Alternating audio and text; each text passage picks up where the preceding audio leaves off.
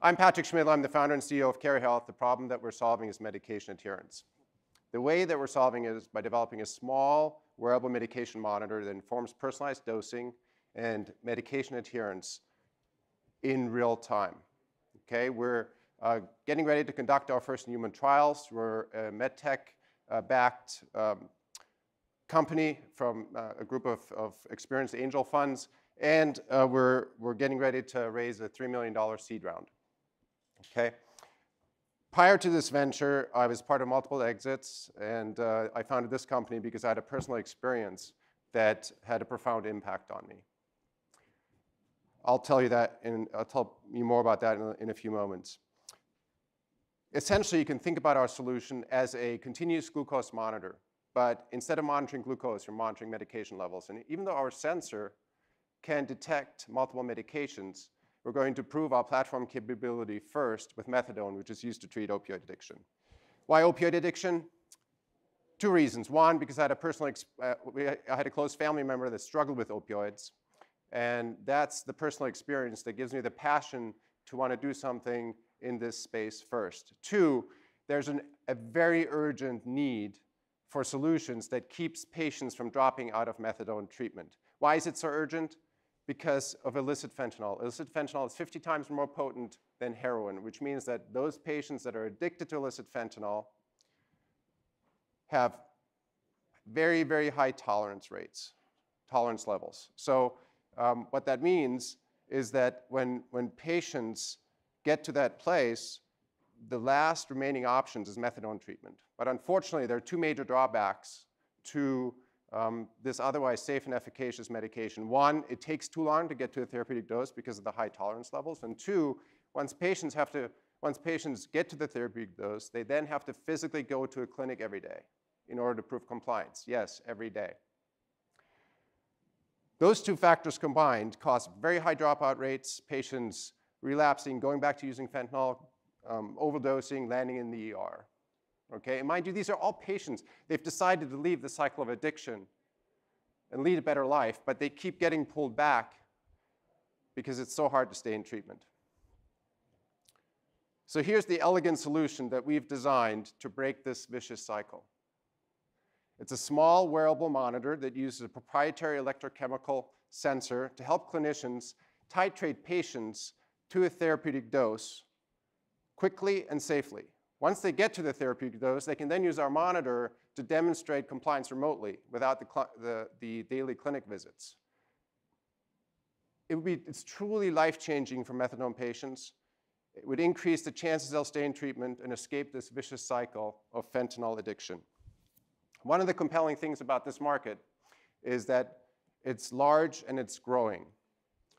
Just the SAM alone is $5 billion uh, annually, and we expect it to continue to grow due to the presence and the rise of illicit fentanyl. Based on the patient and the clinician feedback we've received, we expect adoption rates to be 50% eventually.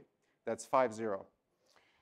Similar to continuous glucose monitoring, our business model is based on reimbursement at $5,000 per patient per year. And because it's so expensive when patients drop out of treatment, the business case is very, very compelling. From a go-to-market perspective, it's very straightforward. There are only 2,000 methadone clinics in the entire country that are authorized to administer methadone. Um, of those, 600 are operated by the seven companies that you see here listed. Uh, the reason that you see community medical services highlighted is because we already have multiple programs uh, in progress with them. Uh, they're chief scientific officers on our advisory board. Uh, they'll be our clinical trial partner and expect them to be uh, our first in line for early adoption. To put this into context, for us to reach $100 million in annual revenues, it takes 20,000 patients, which is a little bit more than 10% of the 200,000 patients that you see here. Now, clearly, methadone monitoring is the right place for us to start, uh, but you're want, probably wondering, uh, does it also work for other medications? And the answer is Yes, and let me show you how. Uh, there's a, an electrochemical assay that gets coded, that's our secret sauce, gets coded on these tiny little microneedles that are pain-free. That assay, via oxidation, detects certain analytes, including methadone as well as other analytes. The sensor then transmits that information via low-power Bluetooth to an app, patient app, goes to the cloud, and then it gets distributed to clinicians. We identified this need to monitor methadone in late 2021. Uh, since then, we've migrated our chemistry from uh, screen print electrodes to wire sensors to microneedles, which is where we are today. Uh, later this year, uh, we're going to conduct, conduct our first in-human studies. We've conducted a series of N-of-1 studies before, and as you can see the, the, the, over here, the sensor, how small it is when it's applied to a, to a human being. I can attest personally that it's, it's pain-free. Uh, and then we will, uh, we will then convert our clinical prototype to the wearable version, which we'll go to market with um, subsequently. In 2022, we conducted a groundbreaking study with methadone patients. And in that study, it's never, it was the first of its kind. In that study, we confirmed that methadone is actually in human interstitial fluid. It's, it's, and the levels are higher after patients have taken a dose than before they took the dose. Okay, we also established that there's a direct correlation between the methadone levels in ISF and in blood. And what you see on the, on the right hand, on the left hand side there, right for you, is that the, our in vitro sensor performance covers the range of what we expect to see in vivo based on the clinical study that we've, uh, that we've performed. So far, we've been incredibly capital efficient uh, thanks to uh, non-dilutive funding. We raised a seed round in late 2022 from a series of uh, medtech savvy funds, uh, including Cove, uh, New Fund, Medical Device of Tomorrow, and Chemical Angels. Uh, we used the proceeds of, those, uh, of that raise for a very, very productive 2023, which has gotten us ready for our first in-human study later this year.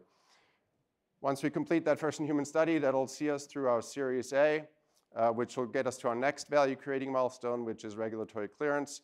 Uh, many of you know that, uh, most of you know that uh, device companies are usually acquired post-regulatory clearance. We'll have that opportunity as well, but we uh, certainly as you get further to the right, uh, the potential exit becomes much, much more lucrative. There are already uh, companies in, in the market with solutions that monitor methadone, but none of them, um, well, some of them monitor methadone adherence, but um, none of them monitor adherence and inform personalized dosing in real time. Our solution is unique uh, because it does both. It's also pain-free and convenient. if anyone would try to enter our space, they would have to try to do it in a different way. We filed several patent applications to protect our methods, uh, to prepare the device as well as our assay. And the, the, company owns all the IP outright. There are no licensing fees or royalties. We're well on our way from a quality uh, management perspective. Uh, we, uh, this is going to be a de novo clearance process based on our FDA pre-sub meeting.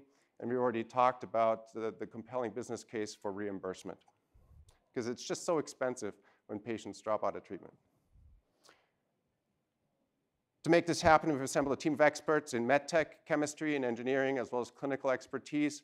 From the logos on this slide, you can tell that we're leaning heavily on people that have done this before, primarily in the glucose space. Um, personally, I've already talked about uh, having been part of multiple exits. So together, we have the right team to make monitoring of medication levels in real time a reality. We've assembled a heavyweight board, uh, advisory board we, uh, that they'll provide us clinical, regulatory, legislative, and commercial guidance. I especially want to highlight Brenda Davis uh, over here.